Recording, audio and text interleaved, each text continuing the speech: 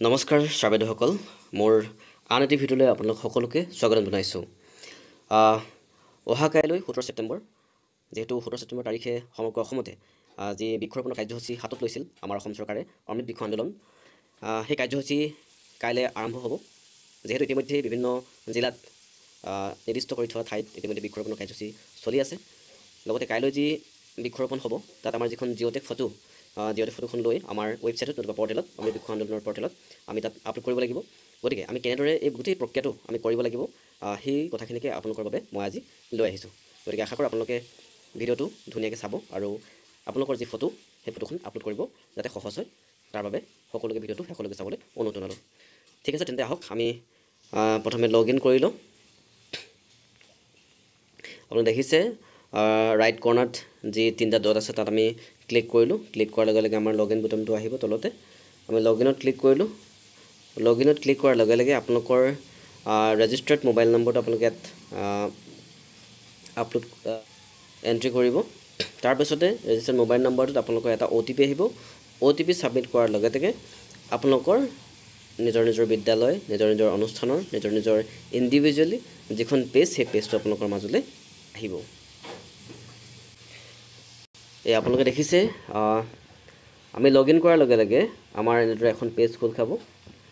আৰু এই পেজখনত আপোনালোকে প্ৰথমতে আপোনালোকৰ ৰেজিষ্টাৰ যি ৰেজিষ্ট্ৰেশ্যন নম্বৰ সেই নাম্বাৰটো আহিব যিটো মোবাইলৰ নাম্বাৰ ৰেজিষ্ট্ৰেশ্যন কৰা আছিলে। আপোনালোকৰ কেটেগৰী আহিব কি কেটেগৰী হয়। নেক্সট আছে আপোনালোকৰ যিজন ব্যক্তিয়ে কৰিছে ইণ্ডিভিজুৱেল বা অন্য অনুষ্ঠান প্ৰতিষ্ঠান যিয়ে নহওক লাগে তেখেতৰ নামটো আহিব। তেখেতৰ মোবাইল নাম্বাৰ তেখেতৰ বয়স লগতে তেওঁৰ এড্ৰেছ আৰু আপোনালোকে ৰেজিষ্ট্ৰেশ্যন কৰোঁতে আপোনালোকে যিটো আইডেণ্টিটি কাৰ্ড ব্যৱহাৰ কৰিছিলে তাত ধুনীয়াকৈ ওলাব। ইয়াৰ পাছত আপোনালোকে যদি আপোনালোকৰ ৰেজিষ্ট্ৰেশ্যনৰ ক্ষেত্ৰত যদি কিবা ডাটা আপোনালোকে চেঞ্জ কৰিব বিচাৰে বা আপডেট কৰিব বিচাৰিছে তেতিয়া আপোনালোকে তাত ধুনীয়াকৈ কৰিব পাৰিব।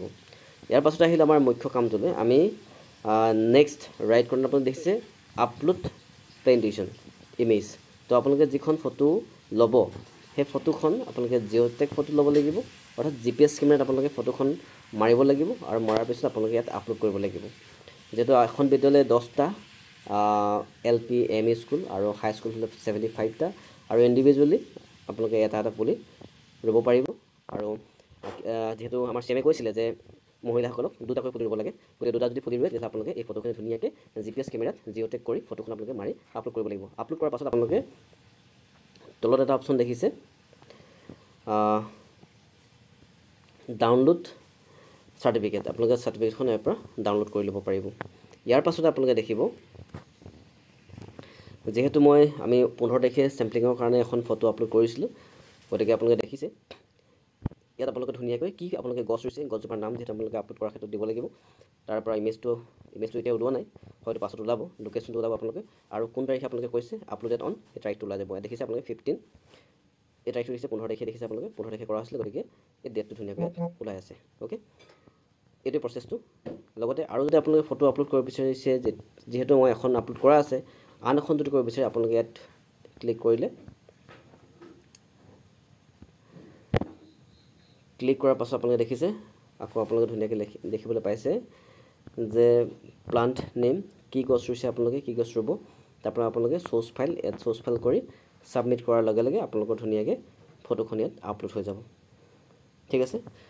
গতিকে আমি এই গোটেই প্ৰচেছটো আমি ইতিমধ্যে গম পাইছোঁ। আপোনালোকে ধুনীয়াকৈ এবাৰ কৰি চাব পাৰে। ইয়াৰ পাছতে আমি এই ফটোসমূহ কিমান সময়লৈকে কাইলৈ অৰ্থাৎ সোতৰ ছেপ্টেম্বৰ তাৰিখে কিমান সময়লৈকে আমি ল'ব পাৰিম আৰু কিমান তাৰিখলৈকে বৰ্তমান অহা যিখন নটিফিকেশ্যন তাৰ হিচাপ মতে কিমান তাৰিখলৈকে আমি আপলোড কৰিব পাৰিম সেই ডাট সেই তথ্যখিনি বা সেই ডাটাখিনি আপোনালোকক দেখাই লওঁ এবাৰ। Okay government of Assam environment and forest department Dispur গুৱাহাটীৰ পৰা আহিছে।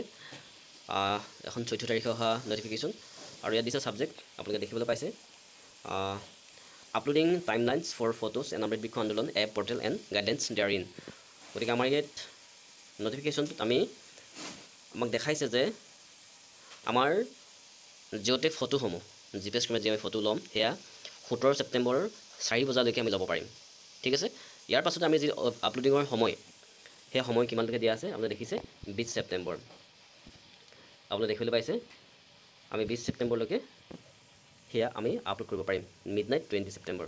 অ'কে গতিকে এইটো আছিলে নতুন নটিফিকেশ্যন হয়তো যিহেতু যথেষ্ট ফটো আপলোড কৰিব লাগিব গোটেই যিহেতু এক কোটি গছ ৰোৱাৰ যি অসম চৰকাৰৰ যি অভিলেখী আঁচনি বা যি প্ৰক্ৰিয়া সেয়া হ'ব। গতিকে হয়তো টাইম লাগিব পাৰে হয়তো পৰৱৰ্তী সময়ত ডেট বৃদ্ধি কৰিবও পাৰে।